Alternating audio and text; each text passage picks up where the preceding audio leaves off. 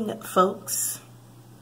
It is quite early on a Sunday morning, the day before Labor Day, and my ass is sitting here desperately trying not to buy more shit. Um, and then, so I then I decided to come in here and start doing some makeup. So I'm doing some makeup and I'm listening to some music. And um, I look over as I'm getting ready to do, you know, like my little bronzing and contouring and all that good stuff. I look over and oh my gosh, I forgot that I had purchased um, this Phyto, Sisley Paris by the way, I forgot that I had purchased this Phyto Touche um, Poudre Eclat Soleil um, sun powder, basically. Sun, sun glow powder. It's right here in English. I'm sorry. Um, so I've forgotten that I had purchased this. I purchased this the same time that I got the uh, Phyto, whatever it's called, foundation, which I think is the last video that went up, even though it was recorded over a month ago, but it was so long and I just didn't want to be bothered with editing the video uh, because it took quite a few tries. Um, so that video is quite long, but I have forgotten that I got this too. Um, and so I decided I'm going to go ahead and use it today for the first time. Um, once again, this is the Phyto uh, Sun Glow Powder from Phyto Paris, which is largely a skincare brand out of Paris, France. Um, but they do have quite a um, large, yo, if you hear anything in the background, that's my mother. The walls are thin, the walls are thin. Anywho, um, Phyto, Phyto Paris is a largely skincare brand out of Paris, but they do have a very large um, color cosmetic component to the brand as well. The brand um, also includes, um, sorry, the color cosmetics also tend to include skincare benefits um, in the in the cosmetics and um, but I think that's garbage, but you know, whatever. Anyway, there are two of these Sun Glow powders. There's also a Sun Glow gel as well, a bronzing gel. Um, there are two of these Sun Glow powders. There is Pêche Dorée, which is golden peach, Jesus. Pêche Dorée, yeah. Um, and then there's uh, Miel Cannelle, which is uh, honey cinnamon, um, which is the one that I got, which is the darker shade. Um, this compact is a $120. Yeah. Let me read what it says. It says, uh, Phyto Touche Sun Glow Powder is a light, creamy powder that allows you to create a customized sun-kissed glow. Its wave design features two golden beige shades to build your bronze effect plus a blush shade to add freshness and radiance. Its imperceptible texture melts onto the skin like a cream for a smooth, even result with no powdery effect. Uh, Phyto Touche blends perfectly with the skin and stays in place for flawless, natural, and long-lasting makeup. The Golden Zebra Print Compact, is it golden? I don't think it was golden. Was it golden? um, comes with a mini kabuki brush uh, which I have uh, looked at. It's quite pretty. Um, it's one of the first brushes that comes in a compact that I may actually use because it's really nice. Um, yeah, that was it.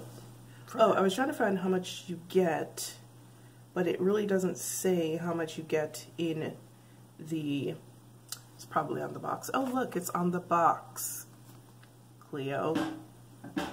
So you get uh, 0.38 ounces for $120. I don't know how much that translates to. Um, I don't know if that's standard or not. Uh, so this is the Kabuki brush. It's this is a Kabuki brush. It's very nice. It's very dense. Um, I just, it's, somebody sneezing up a storm in it. Um, it's very dense. It looks like it would give a really good um, application, but I'm going to actually go ahead and use one of my BH brushes. I like this one because it's fluffy, it's not that dense, and it's also tapered at the point. So this is what the compact looks like. Oh, it is golden zebra. This is what the compact looks like on the outside. Once again, this is Miel Cannelle. Um, and this is what the inside of the package looks like. You get a bronzer here, um, uh, I guess a slightly lighter bronzer here, or I guess you can use that for an under eye powder if you feel like it. And then you get this rather cool toned pink, which is the smallest part of the um, package, the compact, which, you know, it would have been nice if it was bigger. Uh, let me give you some swatches of the powder. This is the darkest shade. I'm just, let me put this. I I went back to using my, um, my old camera for filming because I, I don't know, I just like, I was looking at some of my old videos the other day and I liked the, um, I liked the resolution better. Even both even though both of them are recording in 4k I just like the way it looked on the um, the old camera better. But the problem is the old camera has a wider angle uh, so I'm, just, I'm having to reorder everything here. So it's, you know, it's just, anyway. So this is the darkest shade right here of the bronzer. And then you have the, you know, slightly less dark shade. Um, and then the, this is the blush right here.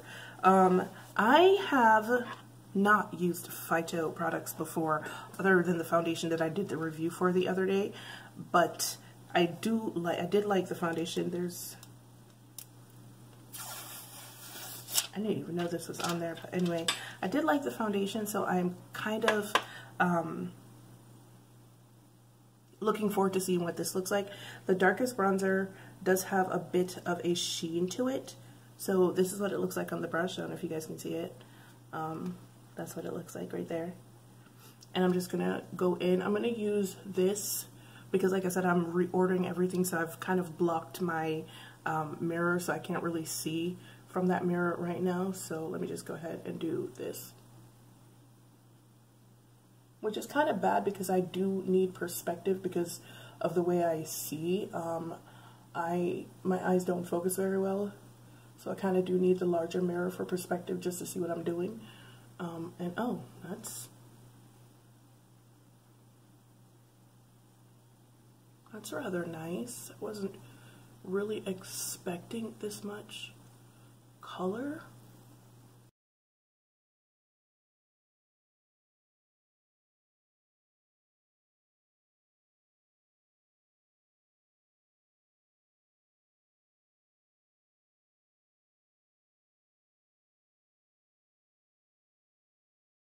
Oh, this is beautiful. Hello.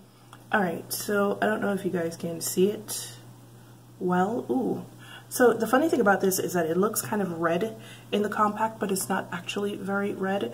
Once you put it on, it just becomes like a warm shade. But yeah, like I was saying, um, I'm kind of happy that I like this because I did wind up um, sending the La Mer one back because, you know, we, we, we, we talked about the fact that it was owned by Estee Lauder and I don't support the Lauder brands, so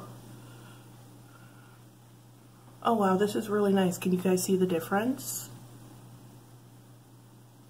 Alright, now we're going to try this here blush. It is a cool tone blush, even though it looks quite light, so I really am not anticipating having too much issue with it. Um, usually cool tone blushes, especially pink ones, no matter how light they look, they, they usually, they tend to show up on me. Um, so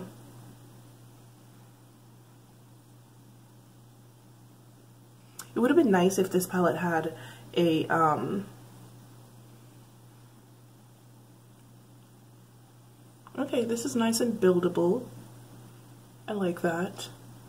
It would have been nice if this palette had a highlighter as opposed to a, uh, two bronzing powders, because, like, I guess it makes sense, though. Um, so, like, if one shade is too dark for you, you can mix the other one with it and, uh, you know, I'm getting bronzer in there. That's why I don't really like these uh, triptych compacts, but but yeah, like I was saying, um, it makes sense so that you can, number one, go from like summer to winter with this palette, um, or if the the um, the darker shade is too dark for you, you can go ahead and uh, mix it with the lighter one and get your perfect shade. All right, so that's that's kind of nice. Um, I don't like the way that fan brush is putting on the powder, but um, This brush is too big for the compact. And I keep getting bronzer in it, so the color keeps sharing out. But alright, I'm not mad. What do you guys think? I'm not mad. So this is one side of my face with the compact, and then this is the other side without. Can you guys see a difference? Tell me if you can or not.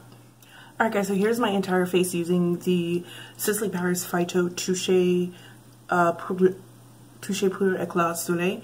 Um, if I'm being honest, and I'm always honest, um, I do prefer the La Mer one. For one thing, the La Mer one, the powders weren't quite as powdery which is weird because that was one of the selling points of this, you know, whole little blurb from Sisley that I read, that it wasn't a powdery look. Now, the bronzer powders are not powdery. They kind of just like sink into the skin. However, the blush is a little bit dry. I don't know if you could tell, like it's a little bit powdery on my face. I did add some highlighter, which I wasn't planning on doing. Um, but I, I, did have to add a little bit of highlighter to make it not look quite so dry. Um, but it's not terrible. It's, it performed a lot better than I was expecting it to. When I got, ordered it, I was like, mm, how this is going to work. Then when I got it, I was like, oh, this might work. And using it on my face, it is it's it's quite nice.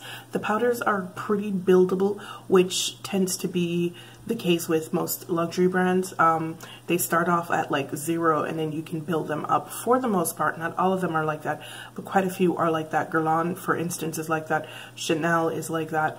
Um, but I, like I said, I never tried Sisley before, so I don't know if all of their powders are like that, but if this one is an indication, they're pretty decent powders and quite buildable. Now, how do I feel about this? I do like it. I really do like it. And I'm glad that I like it because like I said, I sent, sent the La Mer one back. Um, so now I have this one if, you know, it's like an all-in-one palette. Like you can travel with it. I just find the layout to be a bit awkward. I understand that they were going for, you know, like artistry with this whole wave pattern. But to be honest with you, if it had been um, vertical, rather than horizontal and if the blush had been slightly bigger it would have been great but as it is it's very um, it's an awkward application process because you have to be very careful. I was having some trouble in the beginning applying the blush because every time I put my fluffy blush brush into the blush portion, I was getting, um, you know, bronzer. And then when I put it on, it was sharing out into the bronzer. So yeah, it's just a little bit awkward.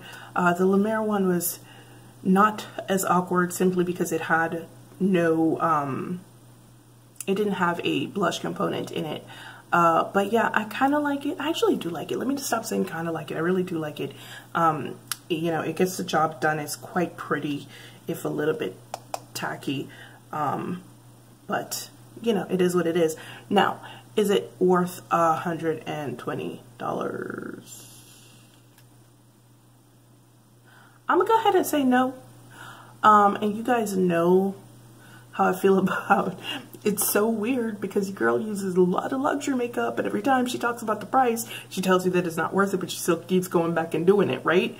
Okay, I know I don't make no sense. I really don't, and I'm sorry for that, but it's not worth $120. I'm pretty sure you could find something, you know, that performs equally as well or, you know, equally uh, for a fraction of the price.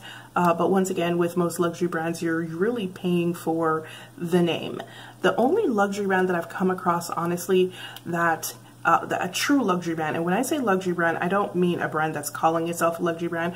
So for instance, um, like Hourglass calls itself a luxury brand, right? Um, I don't consider Hourglass a, a, luxury brand. It's a very high price brand, but I don't consider um, Hourglass uh, a luxury brand. Call me elitist, call me a snob, but for me, luxury brands are Chanel, Guerlain, um, Gucci, uh, Balmain, uh, what else? Uh, Dior, and and if you notice what I'm doing here, the brands that I'm I'm calling luxury brand Hermes are brands that have couture houses or perfume houses. All right. To me, that is a luxury brand. Just because you come out of nowhere and you have a bunch of really super high prices, you're not going to convince me that you're a luxury brand because you haven't been here that long to call yourself a luxury brand. Um, so yeah, when I say luxury brands, I consider brands like the ones that I mentioned as luxury brands. Sisley Paris also is a luxury brand because Sisley's been around forever. Um, once again, Charlotte Tilbury, I don't consider Charlotte Tilbury a luxury brand. Um, she says she's a luxury brand. Okay, that's all right. Say what you want. That's not my belief. Now, what I was saying is most luxury brands, you are paying for the name, right? Which is the whole point. Um, the only luxury brand that I've come across that doesn't necessarily do that is uh, Chanel. Chanel's um, uh, products, their color complexion products, tend to be within the, I want to say, for 50, 40, 50 to $70 range at most. Um, but everybody else, uh, even their foundations is like usually between like 50 and 60 bucks. Um, most other luxury brand foundations are like $90 and better. Uh, Tom Ford also is a luxury brand because there's Tom Ford House. So you get what I'm saying. Um, this is my concept of a luxury brand comes from literally years of working in the um, the fashion industry in New York, like on the magazine side. So that's what I classify as a luxury brand, which is really what a luxury brand is. But anyway, I digress. Is it worth the price point if you're um, if you relate it to the fact that it is a luxury house, um, it's a it's a not a luxury perfume house. It's not a couture house. It is a luxury skincare house. If you um, relate it to the fact that it is a skincare house, a, lo a long-standing skincare house, then yes, the price makes sense. However, uh, nothing is ever to me is ever worth that. Like like I said, you can probably find something that does the same thing or better um, without for a fraction of the cost. Do I like it? Absolutely. Why do I like it? Because I'm probably a snob. Um, it is what it is. Let's just call a spade a spade. I've looked at my collection lately and I realized that I prefer luxury brands. It is what it is. There are a few uh, drugstore brands that I'll use like Makeup Revolution, but by and large, most of my shit is luxury shit. Um, it's not deliberate at all. It's just who I've always been, I suppose. Um, but yeah, is it worth 120 bucks? It depends on you, honestly. It depends on you. Um, if you feel like it's not worth 120 bucks, don't get it. Um, if you feel like it's worth 120 bucks, then do you.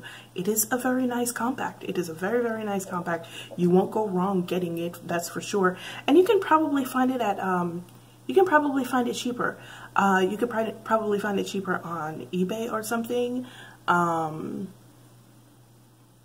I think perfumes.com, like any any one of those perfumes.com, FragranceNet places that sell um, perfumes usually have the uh, cosmetic and skincare component of the brand that they're selling on the website also. So if you want it and you think it's too much, try one of those websites, get it there. All right, guys, I've actually been talking for way too long, um, but I hope you enjoyed this uh, little demo of the Phyto Touche Poudre Eclat Um, and um, yeah, that's about it. I do like the powders. I think that it's it's yes and no for the price point, but you know, do you? As usual, guys, it's been real, it's been fun, and I'll see you in the next one. Bye.